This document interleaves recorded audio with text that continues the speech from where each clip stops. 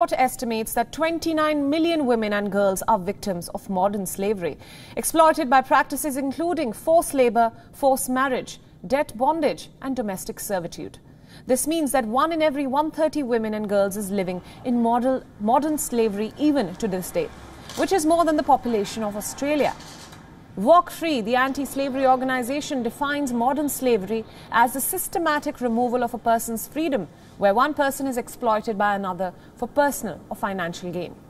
This global estimate is based on work by Walk Free, the International Labour Organization, and the International Organization for Migration. Both of these are UN agencies. Now, according to this report titled Stacked Odds, women account for 99% of all victims of forced sexual exploitation. And out of these, 84% of all victims of forced marriage and 58% of all victims of forced labor. According to the co-founder of Walk Free organization, Forrest says that the face of modern slavery has radically changed, but many believe that the estimate of women and girls in modern slavery is still conservative. The report, after all, doesn't account for what's happened during the pandemic. According to many reports, there has been a sharp increase of forced and child marriage and exploited work conditions around the world during the last seven months.